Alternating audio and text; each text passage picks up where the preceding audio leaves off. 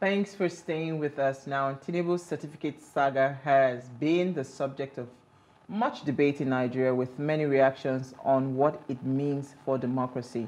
Um, some are of the opinion that it undermines the public's trust in the electoral process. If voters believe that politicians can get away with forging certificates, they are less likely to believe that elections are fair and free. Others are concerned that certificate saga undermines Nigeria's reputation on the international stage that, and that can be perceived negatively, negatively rather by foreign leaders and investors. Um, meanwhile, some people believe that there's, there is nothing um, impactful about findings on the certificate saga that could affect the president's mandate. So we're asking tonight, what are your, um, what are your thoughts on this implication of the certificate, right? And uh, do you think it would impact our democracy? Now, please, let's hear what you have to say. Remember, you can join the conversation. Send us an SMS or WhatsApp to 081 803 4663. So, um, Dami and Mary, I just want you to keep it short. Do you think it impacts? Do you think it doesn't impact? I think it does. It does? Okay. Yes. How about you, Mary? I think it, does it would impact? Yeah. Really? Yeah. Ah, Mary. I mean, like you rightly said, mm. for real, it's going to distrust already from the public mm. because trusting Nigerians' electoral system right now is like you're doing yourself a disservice because mm. we've seen so many things play out. Then even international relations, talk of yeah, investors. Yeah, that, yeah, I think it's, it's going to. For me, it's more about that. Any reasonable person wants to invest in something that is a lie. Absolutely. Do you get so? Stuff like that. So this says, um, I says, what is, I, I, I typed on Google, what is the biggest threat to democracy and why? Says the enemy of democracy is not communism, nor is it socialism, nor fascism, and it's certainly not a free press, um, not a free press. The constant and in, um, insidious threat to democracy by and for the people is corruption, plain and simple. Political corruption rots the foundation um, foundational trust rather between the people and their leaders. On that note, let me bring in David Hundeyin. Um, he's no stranger to the house. um, David Hundeyin is an investigative journalist and the 2023 Distinguished James Currey Fellow at the University of Cambridge Center of African Studies. He's a broadcaster whose work has appeared on CNN, the Africa Report, Al Jazeera, the Washington Post. His work um, as a satirist on the other news, Nigeria's answer to Daily Show has featured in the New York um, New Yorker magazine and in Netflix um, documentary Larry Charles' Dangerous World of Comedy. And David has joined us live from somewhere around the world. Thank you so much, David, for joining us this evening. Thank you for having me. All right, so you know we had this conversation behind the scene, and we were just talking, and I was teasing you. You said you might as well finish what you started, right? Um, this this conversation has been long, long, long, long before even the um, what's it called the elections. You've been doing a lot of digging. You've been doing a lot of work. You had brought out some of the first leg of the report that talked about you know the drug involvement of our now president of the Federal Republic of Nigeria. Then of course this now built up to certificates and all of that. And last week we had the news where um, the PDP presidential candidate, you know, finally got the um, what's it called the the certificate the what's it called the report from the Chicago State University and had a press conference, you know, because we have also held off the conversation until you know that report came out, and the report now comes and it checks everything out, right? Um, a lot of mixed reactions some have said, these things, let's let it go. Some have said, no, we have to stay on it, right? I mean, we had a conversation on Thursday last week. I mean, if you've not watched the show, uh, you can go and watch the show, but it is a conversation of should we, should we not? And some people say, no, let's leave it. Some people say, let's, um, what's it called? Let's stay on it and let us see through, right? Um, so we were just thinking, really, does a certificate, a forged certificate, does it really have anything any major impact on what I mean governance or democracy would look like in Nigeria? Do you think it it has that it is that significant to make a, a, a real impact? So I think the first thing to understand about um, this conversation is that the issue is not so much the certificate in itself. The certificate is important. Let's be clear about that. but it's not so much a certificate itself as what it represents. Now, um, there are two things that it represents. First of all, um, it implies that there is a basic level of competence, right? Obviously, having a certificate does not in itself mean that you're a competent person, but it's it's uh, generally a, a marker that is used as a proxy for some expected form of competence. And then secondly, and more importantly, the certificate signifies that the person who is presenting it has respect for the rules because the rules clearly state that anyone who submits a forged certificate to the Independent National Electoral Commission shall not be qualified for public office. It's grounds for immediate dismissal, for immediate disqualification. Mm. So the act of presenting a forged certificate, the danger that is inherent in that act is not so much the fact that having a forged certificate necessarily makes you a bad person or necessarily makes you a bad leader or necessarily um, invalidates whatever ideas you might have or whatever. The issue is the precedent that is being set, hmm.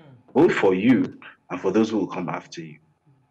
And I think this is a very important thing that needs to be addressed because I think already people have started forgetting that as recently as five years ago, or, or let me say eight years ago, where we, we had a similar issue. Till today, it has fallen into a memory hole, but till today, if you recall, it has still never been conclusively proven that the past president, Muhammadu Buhari, actually had a secondary school certificate. It has still not been conclusively proven till today. If you recall, the argument that was made in court at the time was that, well, um, as long as the issuing body did not come out to categorically state that this thing is a forgery, then, well, we can't categorically say it's a forgery. So he kind of gets away with it by default. And people made similar arguments then that, well, you know, why are you making such a fuss about certificate anyway? It doesn't matter. But the thing is, he got away with it then. So here we are now because the precedent was set that rules don't matter. The law doesn't matter. That precedent was set in 2015. It was reaffirmed in 2019. So here we are in 2023 with someone who is three or four times the con man that Muhammad Buhari was. And again, we're at that crossroads again, where again, people are making those exact same disingenuous arguments.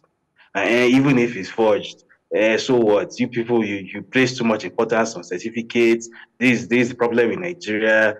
You guys place so much importance on ceremonial things. You don't deal with substance. They're always chasing shadows, blah, blah, blah, blah, blah. The issue is, if this person gets away with it this time, the first one was bad. This one is significantly worse because it's not just one certificate, bear in mind. It's not just the fact of submitting a forged university certificate. There are a ton of other lies that are inherent mm. in the entire declaration. His entire background is a lie. So let me come to you because you are saying this person is three times the con person, right? But let me say mm. this to you. In fairness, aren't um, aren't we all liars? Most of us, a good number of Nigerians are liars. You know why I say that? I mean, in the days of our mothers, they had to use somebody else's document to travel out of the country. Some people had to bring down their date of birth, you know, just to be able to fill into a role. Like literally, right? I, am trying to be very objective here with the conversation because we too, we've been accused that everything APC, we're always attacking. So I'm trying to create a balance here. Now, every, most Nigerians, you know, they, they rode on, um, what's it called? Um, what, would I call it forged or some, you know, some people would just go and declare one age. Some people would declare this, you know. Some people would say, you know what, uh, because I'm supposed to go to school this particular age, I'll bring down my years by two years. Mm. I mean, you see all sorts of things, even with certificates, right? Even with certificates, we've seen people writing exams for people. Like, literally, yeah. when it comes to the issues around falsification of results or falsification of whatever it is, I mean, it's a common practice amongst a lot of us in Nigeria. You know, so shouldn't this be like, okay, I don't know, help me out because I, I'm, I'm trying to be careful with my words, but I'm saying that it's something that is already there, right? I get you saying that somebody at the hell at that level of authority, but it's something that is always there. So we have we have condoned it over the years. So what makes it seem like now anything will change or it will be different? Of course, it will continue to get worse which is to your point. So the issue is, yes, as you said, these things have been widespread within Nigerian society. Um, Tinubu himself didn't fall out of the sky. He obviously came from a context where such things were thought to be permissible. But the issue is, uh, first of all, Nigerians are not the only people who, are, who have a reputation for doing for doing things like that. So, as you may or may not be aware, Indians also have a very, they're also famed, even at a larger scale than Nigerians, for doing things like that. Traveling abroad, traveling abroad with other people's passports, back in the days before biometric uh, uh, data capture, reducing ages, uh, claiming, you know, using false reasons to claim asylum in other countries, all sorts of things. Indians had those had that reputation too. But here's the thing: who is the Prime Minister of India? Mm-hmm. Narendra Modi, right? Mm-hmm. You can every step of Narendra Modi's life can be documented. You know that he went to so and so high school. He went to Gujarat University. His mates who were there at the time, they know and can identify him he has his papers in order. He worked at McKinsey. He doesn't just claim that he worked at McKinsey. McKinsey itself will actually confirm to you that he worked at McKinsey, which is a global top four consultancy firm, before he went into politics. You can so the, the the point I'm trying to drive at is that regardless of how defective society is in India, the people who who sit in the topmost leadership positions there are people who can be used as models mm. of what Indians are supposed to be. Mm. Right? So they don't necessarily reflect the average Indian. That's very important in a quote unquote third world society that people who are in power need to embody some sort of aspirational ideal for what this society wants to look like. So if in, in, in an underdeveloped or low quality society, you have leadership that is reminiscent of the bottom dregs of society, you have leadership that is reminiscent of motor park. What that tells the world is that this is a motor park society and that the world should never expect anything more. That this is not a developing society. This is not a society that has any intentions of getting better. This is a society that is exactly where it deserves to be and is always going to be there. It has no intention of changing. That is what having a certificate forger and you know a, a, drug trafficker sitting in the highest office in the land does it tells it, it sends a message to the world that this these are nigerians. This is what nigeria represents right? It's not as if nigeria didn't already have a very bad reputation for drug trafficking for document forgery uh, uh, 419 scam. Nigeria already had that reputation since the 70s but the thing is it it hasn't really happened before that someone at the very highest level has been directly implicated in those things. It has always been possible to at least pretend that the Nigerian government um, is not on board with those things. You know, even if that wasn't always true, but at least you could pretend. Now, for the first time, you are basically having MC Oluomo as your president mm. because they come from the same stratum of, society right? You are basically having MC Oluomo as your president. The message that is sending to the world is that this is the level of Nigerian society. So even those of us who think of ourselves as middle class, well educated, upwardly mobile, global citizens, whatever, um, the fact that we come from Nigeria doesn't mean that we have to be tied to a certain way of doing things. We've seen the world, we're exposed. We are still going to be judged through those lenses. Mm. That's the problem. That's the issue. So regardless of whether I'm in Nigeria or not, regardless of what, regardless of whether my children grew, grew up in Nigeria or not, regardless of whether I earn an income from Nigeria or not, regardless of whether I use a Nigerian passport or not, I will always be judged through the lens of the person who is perceived to embody Nigeria. Nobody embodies Nigeria more than the person who is the head of state. That is the issue. All right, thanks for staying with us. Now, if we just tuned in, we're having the conversation around um, the Tinubu certificate saga, and we're asking what are its implications on democracy. And we have with us David Hundeyin. Now, please, let's hear what you have to say. Remember, you can join the conversation. Send us an SMS or WhatsApp to 081 803 84663. Then we have a question, right? Okay, yes. So, um, David, I mean, I quite understand that this entire certificate saga has a major impact on the democracy of Nigeria. I mean, trust and whatnot. But then again, uh, I'm also aware that Nigeria is not the most corrupt nation, right? So we have nations that are, I believe, are a lot more corrupt than Nigeria. But are we saying that we particularly need a good person to lead us as a nation or we just need someone with the capacity. Because i mean we can say our pres- our current president is a lot of things quite frankly. But then again in terms of capacity don't you think that he he's literally the man for for the job excluding every of his excesses? I don't know if you understand my question. Hmm. I fundamentally, fundamentally disagree oh. with that point of view. First of all, um, the of the president is just as important as the alleged capacity of the president. The presidency is not just a functional one, it's also a ceremonial one. It also sends a message to the world. So, for example, um, Colombia, in the days of Pablo Escobar, you could have made a similar argument that Pablo Escobar, I mean, he ran the world's most prominent criminal investigation.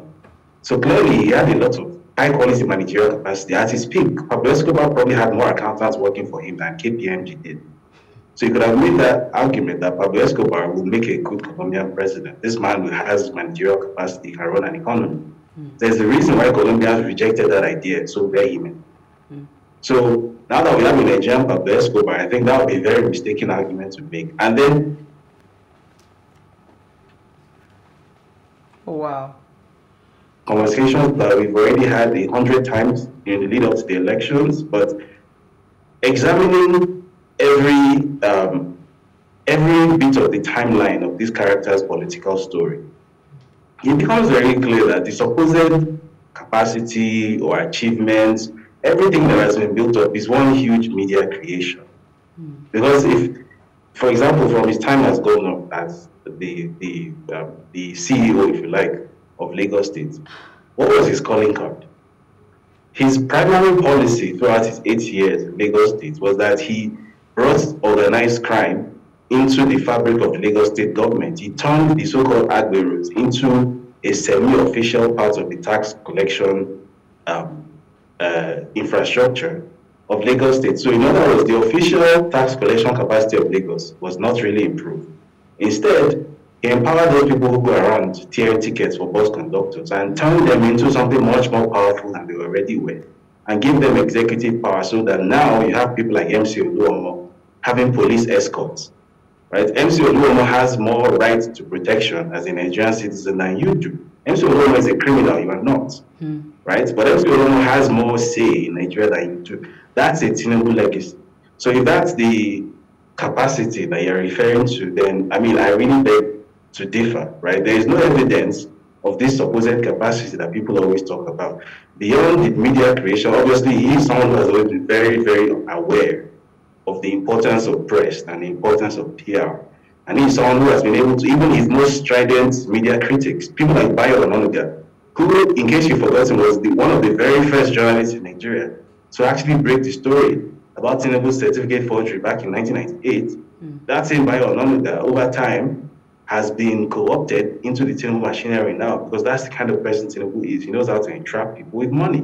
Mm. So that's the capacity. So beyond that, I have no idea what this capacity is that people are always referring to. I mean, I would know because I was born and raised in Lagos. I'm from Lagos. Like I saw this up close. Mm-hmm. You know, my dad used to work civil service. This is someone that I know personally. So this idea that oh, he's some kind of competent leader, I'm sorry, I don't buy it. I've never bought it. I've never seen the evidence for it. Hmm. It's interesting. I mean, these are strong words. You know, say criminal, criminal, criminal. Uh, but I was going to ask you, David. Right? Um, we are here now.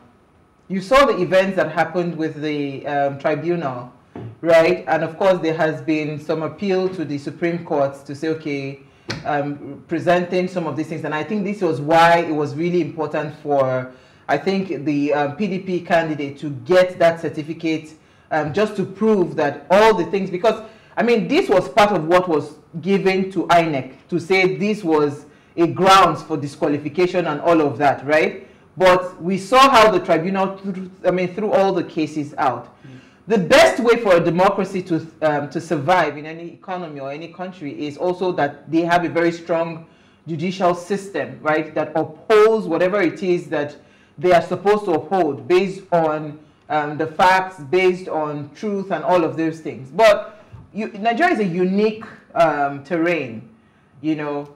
Uh, so how do you see this um, new certificate release, right? Or the, the uh, what's it called, the report from Chicago State University.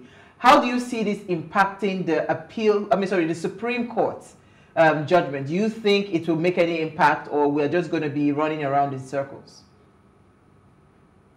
Um, in, in a country with a functioning judiciary, it definitely would make an impact. Um, in, a, in a country with a functioning judiciary, Tinubu wouldn't even have made, have made it this far. He would have been disqualified since November last year when I put the story out and when this was taken to court. Because lest we forget, this was actually taken to the FCT High Court back in, in November last year. And the Nigerian justice system did what it does. All the judges ran away from the case. No judge was assigned to it, and it basically timed out. Mm.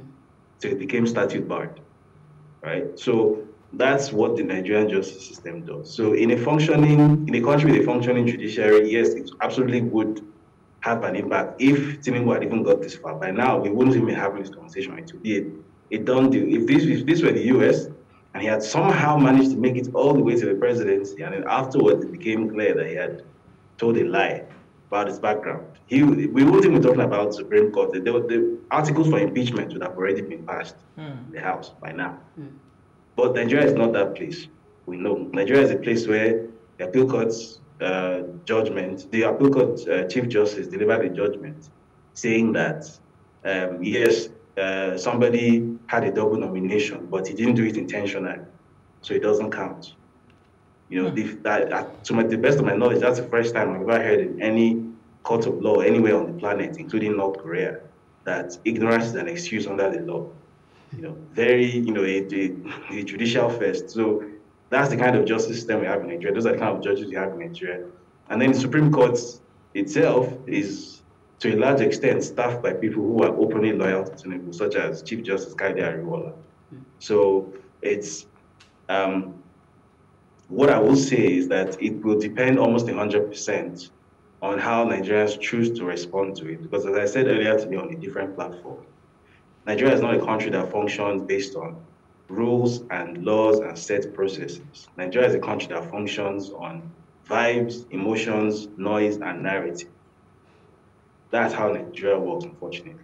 So I can tell you for a fact that the appeal court judgment which was delivered, if there had been a different public reaction, even on the morning that the judgment were to be delivered, the judgment that would, that would have been delivered would have been different. I'm telling you that categorically. Right? Nigeria is a country where these things matter regardless of whatever statement that Chief Justice came out and put out last week that you shouldn't take public opinion into account and blah, blah, blah, blah. The truth is that public opinion absolutely does count for a lot. Yeah. That's the truth. Yeah. So it's Nigerians themselves who decide whether they are going to, with their silence, acquiesce with being insulted the way they were insulted by the appeal court ruling, or if they are not going to accept it this time around. Because I think it's very clear cut right? That even a, a, a competent court in the US, like lawyers acting under the jurisdiction of the court in the US, have established that forgery has taken place. So it's no longer a case of, oh, has this thing been proven in court? It has been proven in court, in an even higher quality court than, in, than, than any Nigerian court. So at this point, it's no longer a case of anybody waiting for the Supreme Court to make any judgment or not. At this point, people know what has happened. Two plus two is definitely four, regardless of what the Supreme Court chooses to say. So now it's up to people to decide whether they're going to let the Supreme Court do what it wants to do. We all know what the Supreme Court wants to do. The Supreme Court wants to find a technicality, throw it out, mm-hmm. and keep Tinubu in office because people in the panel are loyal to Tinubu. That's just how Nigeria works. Yeah. So it's up to the Nigerian people themselves to decide if they're going to let it happen or if they're tired and if, if, unfortunately, if the Nigerian people aren't tired yet, if they're okay with being with having their intelligence insulted by a tiny group of people, then you know, I, I guess all the work that people like us have put in over the past few years would have been for nothing, which I guess is a shame, but ultimately, mm. it is what it is. Yeah. Okay, so considering all you said now, David, what would you rather have the people of Nigeria do? I'm asking this question because we are very aware that we have a system that works against us. So no matter how much we, you know, protest, carry placards, say this, say that, both online and offline. It feels like nothing is being done because there are powers above that just won't let it get done. So, what would you rather have the citizens of Nigeria do in a case like this? Because we are very aware also that when it gets to the Supreme Court, we can only hope for the best, but in our minds, we feel like we know what the result is going to be like. Did you get what I'm saying? So, what would you really have us do? Yeah. So the thing is, um, if you recall, sometime in I think it was 2018. I don't know. I don't know if you remember a police PRO. I think his name was Abayomi Shogunle, mm-hmm. who used to be very cantankerous on social media. Mm. Used to be openly, you know, there was I there, there's this particular incident that I cannot forget, where if you recall, EndSARS had been a hashtag since maybe 20 late 2017 or so. Yeah. And one of those times where it flared up briefly, sometime in 2018 Abayomi Shogunle went to Twitter and said uh, 85 million retweets to EndSARS. He was openly mocking people who were complaining about their pain that they had suffered in the hands of the Special Anti-Robbery Squad. He went to Twitter and said 85 million retweets to EndSARS, and then he put laughing emojis, right? And then, like less than two years later, all of a sudden, nobody knew what happened. Nobody organized anything. Nobody told anybody what to do. All of a sudden, EndSARS went from just being some random internet hashtag into becoming something that literally brought the country to a halt. And then you have the then president going on TV and making an announcement that the Special Anti-Robbery Squad has been disbanded. Now, whether or not it was actually disbanded in the functional sense, that's another conversation altogether. But the point is, the, at the, the one time when Nigerians decided that they were actually tired of something, nobody made any recommendation to them to tell them what to do. Nobody organized any movement for them to join. Nobody did anything. It just happened. Hmm. Because when Nigerians are tired of things, nobody tells them what to do. So if I have to sit down and recommend any course of action, then from experience, that means that Nigerians are not ready. We're not ready. Because when Nigerians are ready, nobody. Well, we saw what happened with yeah. let's, I mean, let's take comment. Someone says, "Hello, I'm watching your program, and I, I'm honestly, I'm disappointed with how you guys allow that young boy, um, calling our president unprintable names and no respect. You guys watch." and condole all the trash he's talking about without evidences. Please let's respect our president. It's so sad. Journalism has gone to the gutters. Oga. He says he's just being emotional. Stop being um, I had this. Comment there. This is Austin from Delta. For me, your guest has said it all. When a bad precedent is set, and people, especially those occupying leadership positions, who should lead by example? Mm. What do you expect? Till today, Buhari's certificate matter was swept under the carpet. And who are saying she's being careful because APC are always angry because the truth is said. I really weep for, for this country, for your information. The damage about this saga will, will impact negatively on Nigeria. Hmm. Okay, good evening. I am shocked at what the anchor said regarding the conversation on President Tinubu's alleged um, certificate forgery. Even though we have issues of fraud and document forgery in the country, we shouldn't use that as an excuse to this issue. This is a shame if indeed the certificate is fake. This is bad without an excuse. Let's call a spade a spade. Um, I don't know if it's from the same person, mm. but we've got rules, and if we don't follow the rules, then whatever we do will be a joke. No development will come as a result. So says, good evening, ladies. Um, David nailed his argument perfect. The Nigerians debating a no um, debating a no-brainer issue like this forged certificate, like, like this forged certificate issue of the president shows how low we have sunk as a country as per dysfunctional societal values. It will be the most dangerous precedent in Nigeria. Unfortunately, Nigeria lacks a critical mass of patriotic leaders loyal to Nigeria and the constitution above any individual who normally should have done the needful how did we get here in Nigeria? This is Ni from um, uh, Omole, Lagos. Thank you, Ni. Um, David, I mean, you see the thing, we've not even finished, they're already attacking us. The NBC should watch this. I mean, so this conversation, you've started this investigation, and I must commend your work because, again, a lot of people, um, some people don't argue, don't agree with your methods. I remember some journalists sending me some videos of the clip that you just really recently released, you know, a video. And I said, see, it, it's his style. You need to understand that some people would go the extra mile to do that. You know, people have questioned what's your motive, what is this, what is that, right? Um, I don't believe you have a motive, but some people would argue otherwise that you have a motive behind all of these things. But it's, I mean, it's an argument that is really not at, at the critical um, point right now. Where do we move from here? we have all of these problems. We don't know what to do. Nigerians are like kind of like stuck. Um, like you rightly said, President Buhari's um, certificate was questionable. Now we've even seen a much more bigger problem. So what gives that tomorrow is not even going to get worse? Because now what they've just told me is that even me, even I, can forge a certificate. I mean, Kemi Adeosun, was it a, um, her NYSC stuff, the mm -hmm. saga yeah, that yeah. everybody went all over yeah. her? She had to resign. And then, i mean because she even had integrity because she just resigned JJJ and left yeah. the thing and went back to uh, her uk i mean we've seen some people being torn apart for even a little something much more minute than this.